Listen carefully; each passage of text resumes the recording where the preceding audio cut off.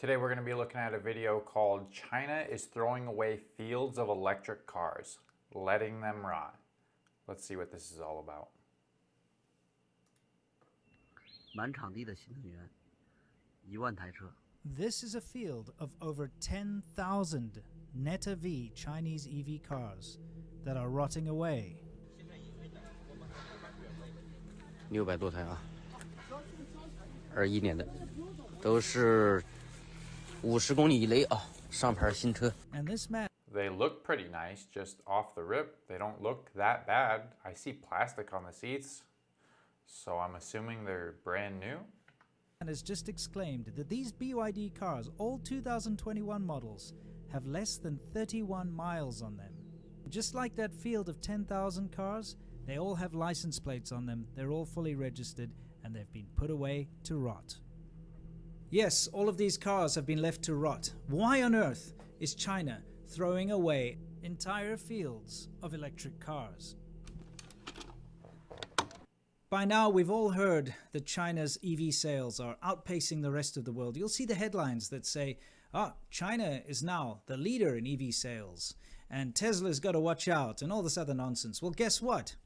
It's true, the numbers are true. But what you're not taking into consideration is that China is the land of shortcuts and facades.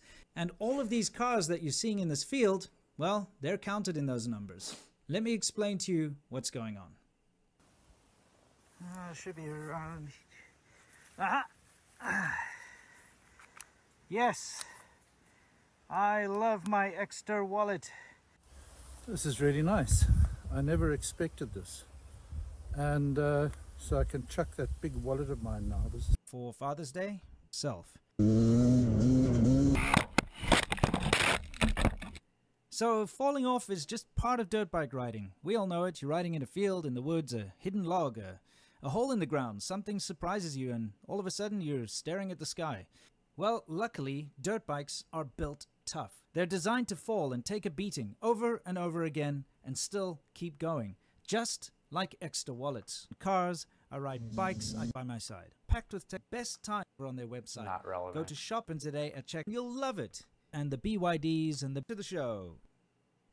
You see the Neta Vs and the BYDs and the bigger brands that you see huge amounts of them just parked out to rot.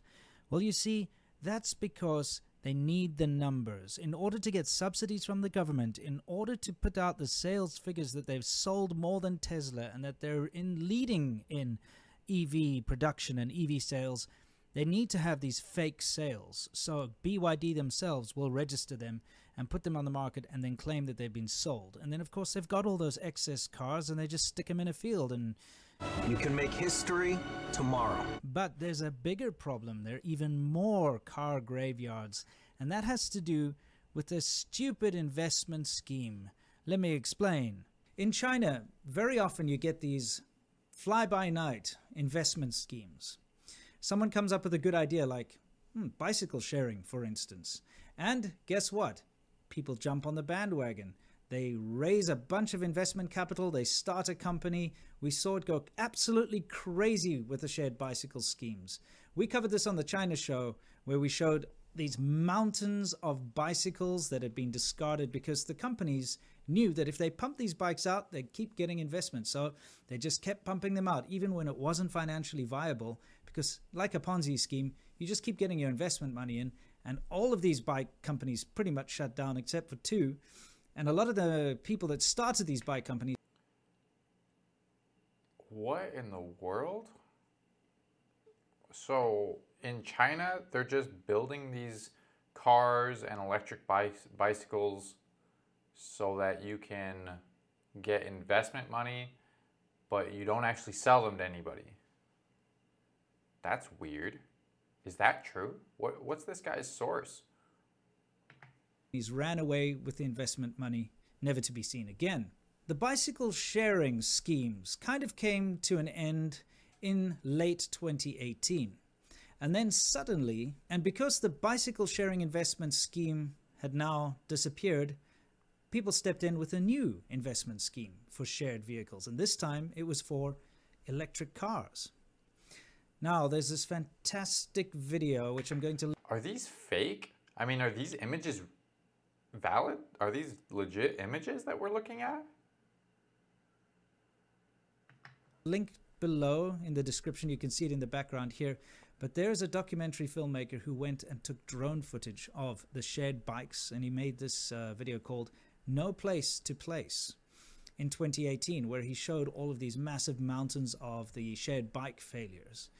But he then went in 2019 to film the fields of abandoned electric vehicles. So, this is no place to place too. And what you're seeing are these fields of shared cars. You see, the idea, like shared bicycles, would be that you have an app. And if you need a car, you can look in your app and see, oh, there's a shared car nearby, a shared electric vehicle. Um, and you go and you unlock it with your app and you can drive to your destination.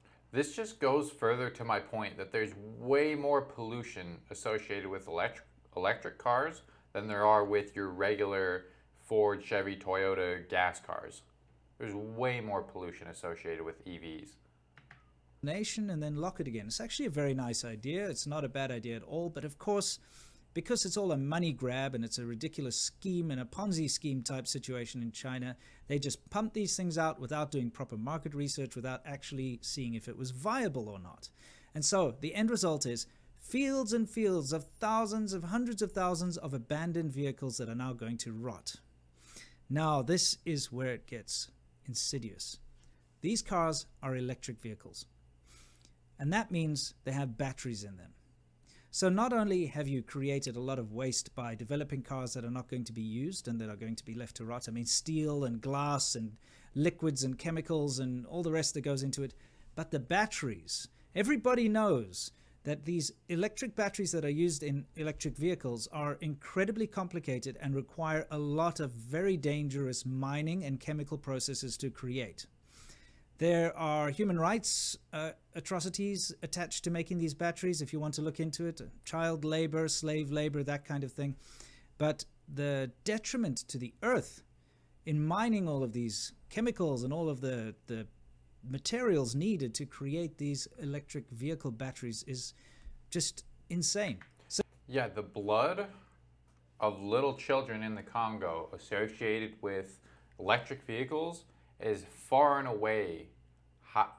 It's way, way more than anything associated with your regular gasoline and diesel vehicles. So now you've created all of this uh, environmental damage to make these cars, and then you just let them rot in a field. And of course, now they're going to create even more environmental damage because they're going to sit there for however long with all of these chemicals and batteries in them and all the rest of it. And uh, they're going to pollute the environment further. So it's like a double whammy. Not only have you damaged the environment making them, but now you're damaging the environment by discarding them. And this is where China tricks everyone. You see, you hear about their great uh, green initiatives, this being one of them. Oh, look, China's really pushing forward in renewable energy and electric cars. And if you just read headlines and you uh, look at the numbers, etc., you would think China's doing a very good job. But what you're not seeing is the fact that China is actually destroying the earth at a rate never before seen. So you have to look past the facade, and people still don't seem to get this. China is an opaque country. They block all of this information from the rest of the world. You would not be able to just see this. If a company does something like this in the West, you bet your bottom dollar there's going to be a lot of eyes on it. A lot of big news outlets will cover this. There will be heads will roll. People will have to uh, reply to this. The companies would have to pay some kind of a uh, a, fine for damaging the environment or for doing bad things like this, like an oil spill or something like that. We know that there are ways to deal with these things, but because we don't see these things in China, nothing gets done. These massive fields of electric cars just sit there rotting. China's green technology initiatives that you keep hearing about are mostly bullshit and a smokescreen to hide the fact that they're doing all sorts of environmental crimes. And remember, it's all about turning a profit. It's not about saving the environment or, or anything like that. It's a propaganda push and it's a money grab.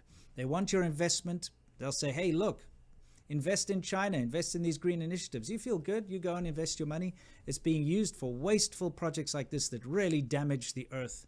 So think twice before investing in China. And if you want to find out more about what's going on in China, I'm talking about up to date, down to the wire news events and everything else in between, come and join me for the China show on Friday. This is my live show that I do with uh, my business partner Laowhy86, where we cover what's new in China, the soft power hour, the Wu Maos, the haters, the everything. Yeah, this is Serpentza.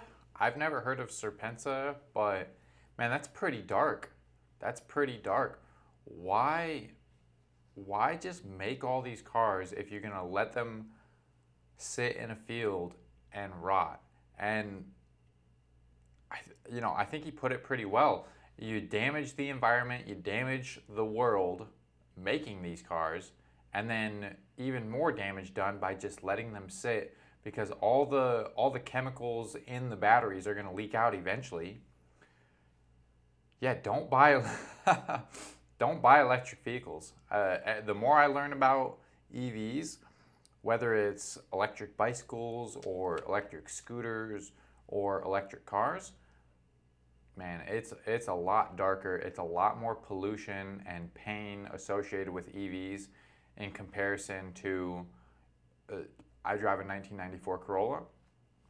It's the cockroach of the car world. It's it comes in many different varieties, and it will never die. In 20 years, I'll still be driving my 1994 Corolla. If you have any questions, go ahead and leave them in the comments down below. Like and subscribe if you haven't already. Keep an eye up the hill, guys.